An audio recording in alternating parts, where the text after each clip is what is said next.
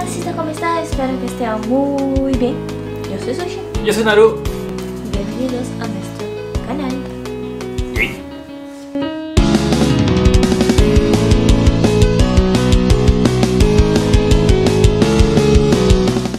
A los japoneses les gusta el manga, el anime, la... todas las chicas son bien meiko, bien así, bien lindas aquí en Japón, etcétera, etcétera, etcétera. Hay muchos estereotipos aquí en Japón que son realmente falsos.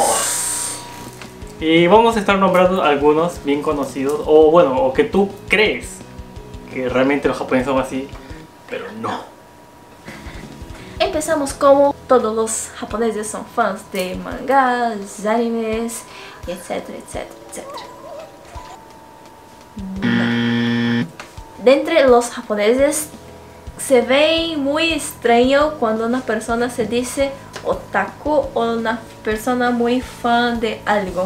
Mm, probablemente has escuchado que ser otaku aquí en Japón no es algo bueno. Eso sí. Sí, es Y realmente no es. Creo que hoy en día ya no sea tan tan mal visto, pero aún así no es algo normal. Mm. No hay muchas personas que le gustan los animes y los mangas. Otro estereotipo es pensar que todas las japonesas son bien obedientes. Las japonesas son bien obedientes, sumisas. El, el cliché así de ama de casa que te va a hacer todo cuando llegas del trabajo. Y estos son muy bellas, muy kawaii, siempre muy buenas y no. No es así. Hoy en día hay muchas mujeres que ya no quieren se casar porque no quieren este estilo de vida. Exacto. de que tener que trabajar afuera y llegar en casa, tener que hacer toda la limpieza, cuidar de sus hijos, del marido, llegar en casa y Oye, mujer, y mi vida, y mi estrella, y mi... ¿cómo se dice? Mi cerveza. Mi cerveza. ¿Dónde Bueno. está mi saquecito? Y no, Bueno. Bueno, en realidad hay una verdad que sí, por ejemplo, nosotros sabemos mucho de tanto trabajar con japoneses, es que sí, el japonés está acostumbrado a llegar a recibir su sueldo y darle todo a la mujer. Eso sí es verdad. Y la Sí. mujer se encarga de administrar, porque el japonés dice, yo trabajo y tú quédate en casa. Sí, Y tú haz todo en casa. sí. Eso es un acto de machismo hoy en día. Japón es un país machista y no podemos cambiarlo de la- del día, no, de la noche a la mañana. De la noche a la mañana. Otro estereotipo de japonés que piensan por lo que ven en la moda, en el fashion de los japoneses, es que son muy abiertos. O sea, se arriesgan a, a todo, pero eso no es verdad. No. No solamente con la moda, también con la comida y los costumbres eh, son muy restrictos y no todos se arriesgan mucho. Exacto. Como se dice, están cómodos en un lugar, están en su cajita, entonces no quiero salir de mi cajita Sí. y bueno, Sí, ah, y, y- y vivir la vida de esa manera. Por eso aquí en Japón hay algo que se conoce como hikikomori, que ya debes saber, si no lo sabes, este, bueno, yo- en otro video te lo explicamos. Pero si no buscas hikikomori, es, un- es, es- es considerado ya casi una enfermedad. Con las personas que se quedan dentro de su cuarto y no sale por nada, solamente para comer y ir al baño. No tiene eh, interacción social con nadie en el mundo.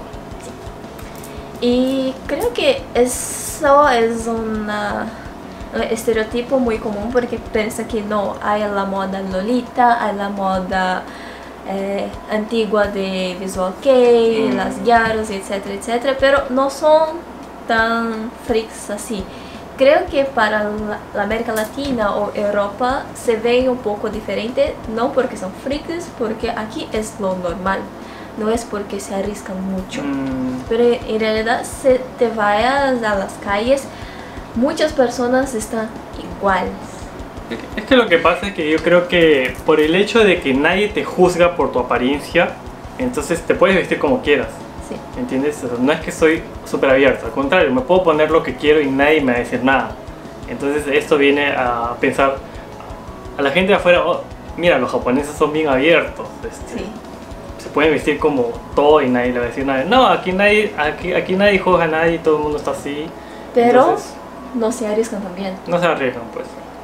Y también se puede notar en la comida que los japoneses, si hay algún restaurante nuevo y no hay muchas personas, Mm. nadie se arriesga, nadie lo entra. Tiene que tener una fila enorme para que Mm. los japoneses se puedan intentar probar algo nuevo. El siguiente estereotipo japonés es que todo el mundo piensa que somos blancos. Yo soy. Súper blancos, piel blanca. Y al contrario, nosotros los asiáticos somos considerados piel amarilla, no blancos.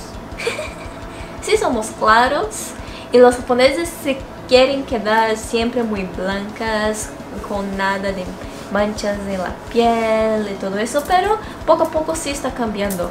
Ya Mm. podemos ver en las calles personas que sí quieren estar más bronceadas, más Mm. negras de una forma más saludable. Eso. Otra cosa que nos preguntan muchas veces es si los japoneses son muy racistas, si son xenofóbicos. Mm. Y creo que no son xenofóbicos, no son racistas, pero tiene mucho miedo, muy deseo de hablar con los extranjeros, cómo pueden agir. Reaccionar. Reaccionar, Es que en realidad, así, los japoneses son criados de una manera así, recta, son bien obedientes, son bien estrictos, eso sí. Sí. Pero eso también indica que no están acostumbrados a, a lidiar con cosas diferentes en su día a día. Y Sí. esto quiere decir que cuando conocen a los extranjeros, eh, uno, no saben cómo, en qué idioma hablar, si el extranjero sabe hablar japonés o no.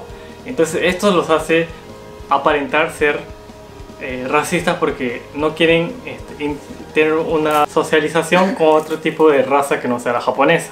Sí. Y en mi caso, eh, no, ya me ha pasado así, pero no ha sido tan fuerte. Eh, bueno, mi apariencia me ayuda bastante, nuestra apariencia. Sí.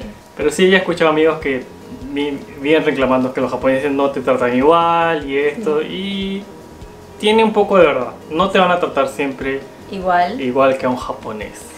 Pero hay Pero- japoneses también que no les gusta los propios japoneses y prefieren extranjeros. Sí. Eso sí. Sí. Y en general creo que no siempre, pero en muchas veces no es racismo, pero es miedo. Es ser tímido. Sí, es timidez. Son tímidos. y Los japoneses son bien tímidos. no sabemos, no saben cómo reaccionar, entonces que yo no iré a hablar con extranjero y también no intentaré ayudar porque no Mm. quiero hacer lo malo. Y así es. Este, este, este estereotipo entonces medio que queda entre mitad mitad. Sí, es Hay, gente, hay, hay, ja- hay japoneses racistas Sí. y hay japoneses que no son racistas pero parecen racistas por su forma de, de reaccionar. Otra cosa que las personas piensan que es, y que se dice mucho sobre la dieta japonesa, Mm, los Porque todos, y- son, porque todos somos flacos, sí, delgados. Y, y no es bien así. Algunas personas son muy flacas, pero no de una forma saludable. Se alimentan solamente de cup noodles o de cosas Instantáneas, que aquí en Japón hay muchas, que a las finales no te hacen nada bien. congelados y toman la cerveza, cerveza todos los días, el saquecito y no, no está bien. Tanto que los japoneses son, es muy, muy, muy común tener cáncer de estómago. La mayoría de los japoneses son delgados por el hecho de comer, este, como, se- como el bento box, Sí, bien divididos las porciones. Entonces, eso hace que tu estómago trabaje de una manera diferente. Aparte, los japoneses tenemos otro tipo de com- ¿cómo se complejo de cuerpo. Complejo cuerpo. No sé cómo se dice. Eh, y bueno, sí, hay más, obviamente hay más este, flacos que gordos. Pero no todos son Saludables. saludables ni flacos. Porque se puede comer todos los días un cup ramen o un ramen instantáneo que es pocas calorías, Mm. pero no es nada, nada saludable Saludable. comer todo, todos los días. Mm. Y este fue el video de hoy, espero que hayan gustado porque debemos que pensar mucho en lo que hablar aquí. Últimamente no estamos con poco tiempo, así que estamos grabando en casa, chicos. Para los que nos ven siempre, eh, disculpen si quieren ver más videos así haciendo vlogs, ya, ya los van a tener. Espérense. Y bueno, ese fue el video de hoy. Espero que les haya gustado. Redes sociales aquí abajo, como siempre. Y Nos vemos en el próximo video. Bye bye.